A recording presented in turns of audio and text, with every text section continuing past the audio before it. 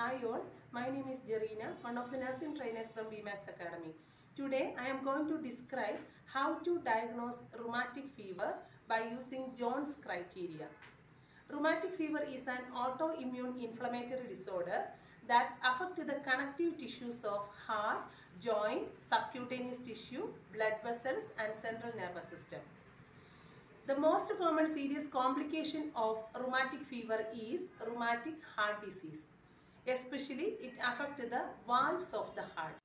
In order to diagnose rheumatic fever, we are using a criteria introduced by Dr. Duckett Jones. It is known as Jones criteria. It is mainly divided into two major criteria and minor criteria to diagnose rheumatic fever. First we will see major criteria. In order to represent the major criteria, we can use a mnemonics. It is known as cases. I will explain. C for carditis. Carditis means inflammation of all the part of the heart, especially the valves of the heart. Second one, arthritis. In rheumatic fever, there will be multiple joint inflammation, especially elbow, knee, wrist and ankles are affected. Next one, subcutaneous nodules. These are painless hard nodules that we can see under the skin. Next one, erythema marginatum. These are the red rashes which appear on the trunk and extremities. Last one, Sydenham's chorea. These are unilateral or bilateral involuntary purposeless movement.